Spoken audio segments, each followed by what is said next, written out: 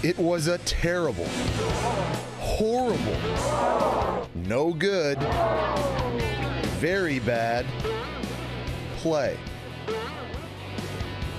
Ernie Els breaking an unwanted record, six putting for a score of nine.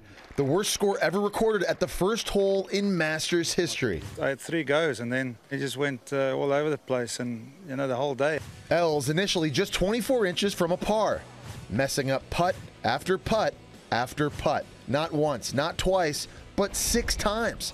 Blaming his case of the yips on nerves. That's what happens when you have the heebie-jeebies. Can't explain it. You know, I've played a lot of these things and I just I couldn't pull the putter back on the on the first dollar. And even though some are saying Els' performance might just be the worst exhibition of putting since Happy Gilmore, Oh, why didn't you just go home? he is remaining positive. You know, it's very difficult. We'll see where we take it from here.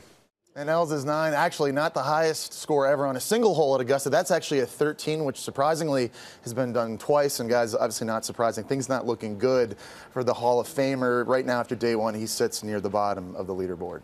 I guess they couldn't just give him the putt, huh? No, I mean, like, I, I six putt twice every round I play, so I feel Ernie Els' pain. Just go in your hole. What are you, too good for your hole? Wow, I love that. All right, Jess, thank you. Another impression from Jesse this morning. More to come. It's more to Friday. come.